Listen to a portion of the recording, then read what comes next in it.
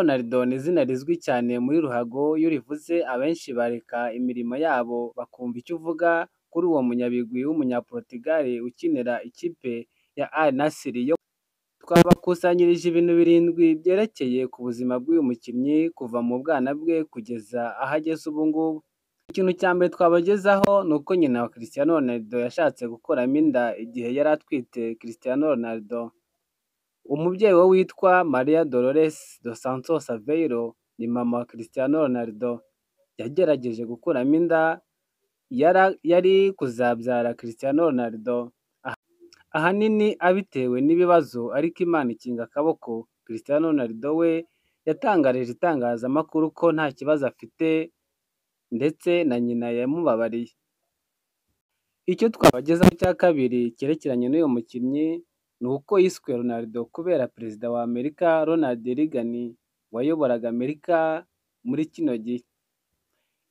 Izina Ronaldo ni izina rimenyerewe mu mupira w'amaguru ariko iry'uyu munyaportugal we ririhariye kuko yiswe iri zina bitewe n'uko ise wa Cristiano Ronaldo yakundaga cyane wari perezida wa Amerika Ronald Reagan, byatumye afata izina Ronaldo yongeraho inyuguti O kugira ngo rihinduke izina ry'igiportugal Ronaldo, ubundi amazina ye nyakuri ni Cristiano Ronaldo dos Santos Aveiro.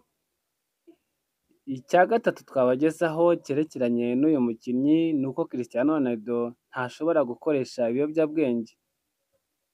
Jose Diniz Aveiro ni we mubyeyi wa Cristiano Ronaldo yitabye Imana afite imyaka mirongo itanu n'ibiri y'amavuko mu bihumbi bibiri na gatanu biturutse ku kuba akoresha ibiyobyabwenge byinshi.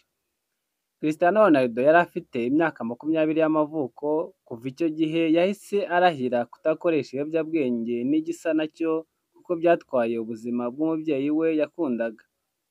Icya kane twabagezaho kandi nta tatuwaje cyangwa se bakunze kwita tatu mu cyongereza wamubonaho ku mubiri we.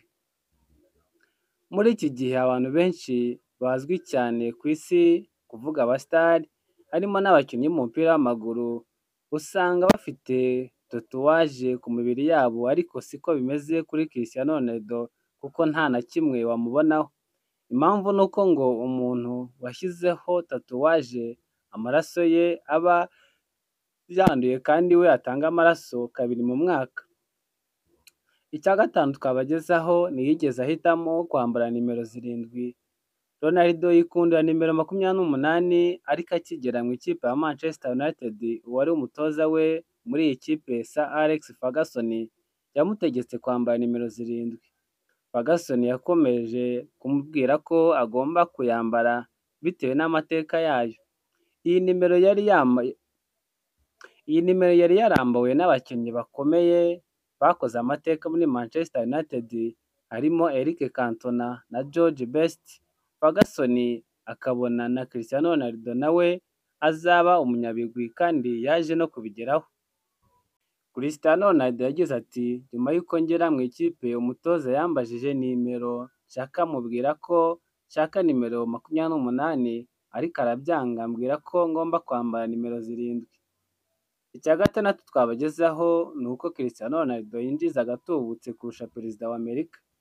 Ronaldo ku cyumweru abona amapawundi arenga ibihumbi magana abiri mirongo irindwi na bine, ni ukuvuga agera ku bihumbi magana atatu mirongo icyenda by'amadolari.